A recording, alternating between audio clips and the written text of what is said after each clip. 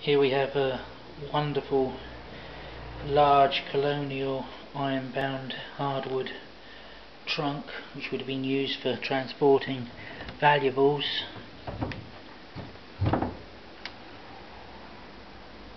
Lovely boarded planked base. You have this small storage area. most wonderful looking hinges made of ironwork. Very arts and crafts looking, but they're well before that period. It's probably where the arts and crafts designers got their ideas from. Wonderful hinges. Iron straps running around the body to make it really strong for carting it all over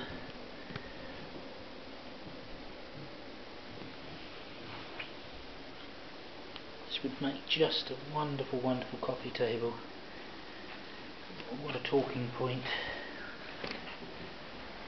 to be put in the centre of a room.